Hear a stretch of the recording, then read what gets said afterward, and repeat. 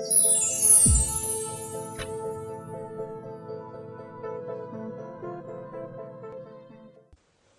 and welcome to my first video in this series about energy and ecosystems and today we're going to be looking at pyramids and also energy and exchange. And so the first section on this topic um, is to do with the role of autotrophs and sp specifically autotrophs um, are known as producers when we look at um, food webs or food chains. And so autotrophs produce their own food um, from sunlight and so they do this through the process of photosynthesis. And so you're probably all familiar with uh, photosynthesis in plants. And so those are always the first step within um, any food chain or food web because they produce or they take in sunlight and they therefore convert that into energy that we that um, other organisms can consume.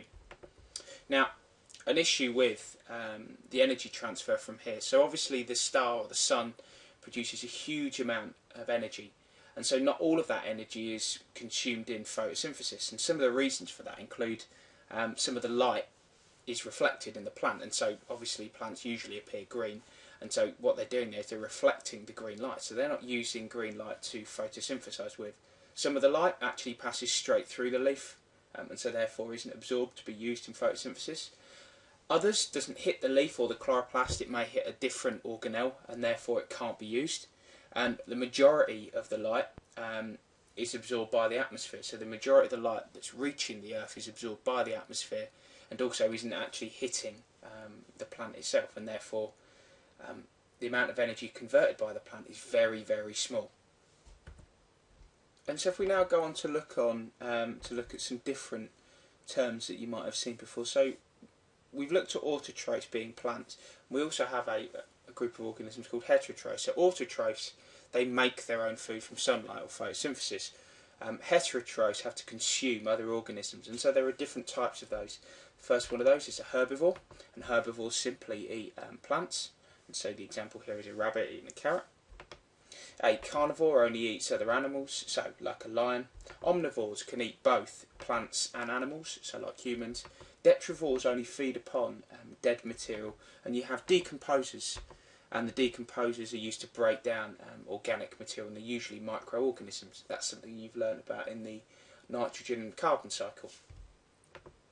So from here we can go on to look at the difference between um, food chains and food webs. So this is an example of a food chain and you can see here that you have your um, autotroph, which is the algae which makes its food through photosynthesis, and then you have a series of consumers after this.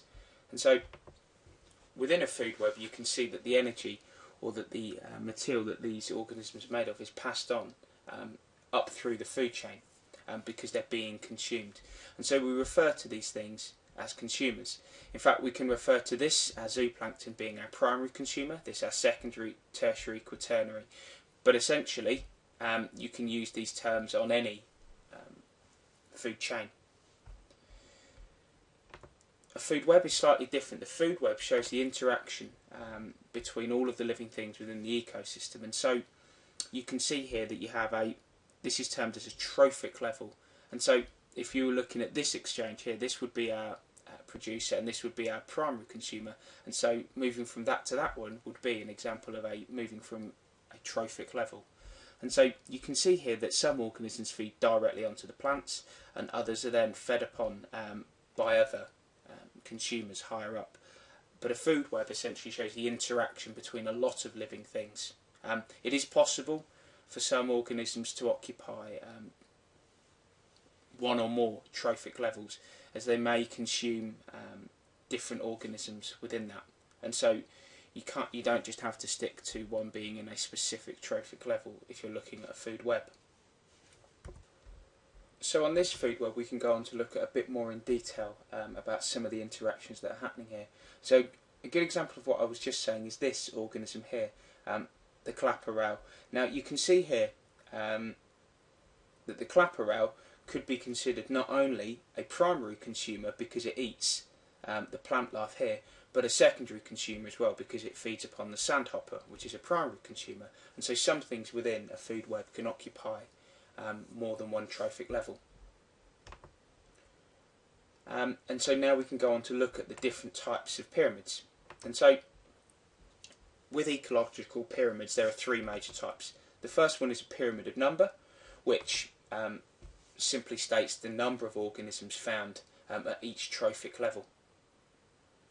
Um, the problem with um, pyramids of numbers is it can be massively skewed um, and it doesn't take into account um, if one of the organisms is a lot bigger than the other. A good example of this is caterpillars which feed upon um, trees. Obviously the tree is much much bigger um, than the caterpillar and therefore the pyramid would be skewed. It would show it very very narrow at the bottom, so one tree and thousands upon thousands of caterpillars within um, the sef- second trophic level. And so another type of pyramid that's slightly better than that um, is a pyramid of biomass. Now biomass takes into account the living material found at each trophic level. Um, again, this is better um, than the pyramid of numbers, and usually it's measured in grams per metre squared. Um, one of the issues with pyramids of biomass is it doesn't always take into account how quickly some organisms reproduce, and again, what you can get is a skewed idea and essentially a smaller bottom section on the pyramid.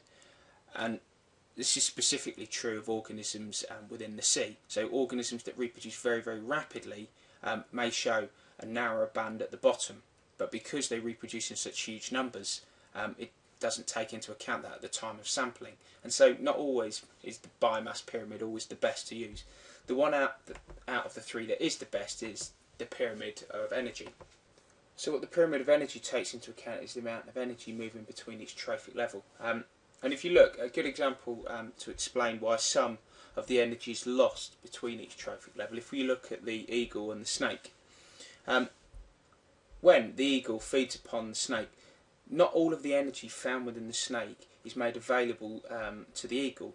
Some of it may have been used in respiration um, and also may therefore um, producing heat. Um, some of it is lost as feces and urine, and some of the material is left undigested by the predator. So, for instance, um, the eagle wouldn't digest the, the bones of the snake, and therefore this um, doesn't show, you know, a hundred percent um, exchange. And usually you can expect the exchange between each trophic level to be at roughly 10%. Now there is a mistake on this diagram here. Um, when you learn about energy pyramids and um, looking at the unit for energy, it isn't in kilocalories. The, the unit that we use for this is measured in kilojoules per metre squared per year. Um, if you join me on the next video where we'll be looking at energy transfers.